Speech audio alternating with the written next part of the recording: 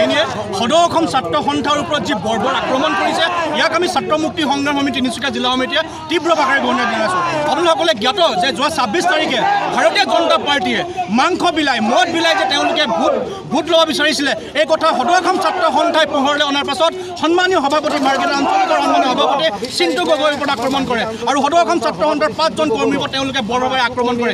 এই আক্ৰমণৰ ঘটনাই প্ৰমাণিত কৰিছে যে বিজেপিৰ যি গুণ্ডা গুণ্ডা বাহিনী এই গুণ্ডা বাহিনী আচলতে অসমীয়া মানুহৰ ওপৰত যিধৰণে আক্ৰমণ কৰিছে ইয়াক আমি তীব্ৰভাৱে গণ্য জনাইছোঁ। আৰু আজি সেইবাবেই আজি গণতান্ত্ৰিক প্ৰতিবাদী কাৰ্যৰ জৰিয়তে আমি প্ৰশাসন এটা স্পষ্ট ক'ব বিচাৰিছোঁ যে প্ৰশাসন সম্পূৰ্ণৰূপে ইয়াত হৈছে। প্ৰশাসনে ভাস্কৰ শৰ্মাৰ কথা শুনি উদ্ভৱ কৰিছে। মাৰ্গেৰিটা ঔচিয়ে ভাস্কৰ শৰ্মাৰ কথা শুনি ইয়াত উদ্ভৱ কৰিছে। এয়া কোনো কাৰণতে সহ্য কৰা নহ'ব। আমাক উত্তৰ লাগিব আমাক ন্যায় লাগিব।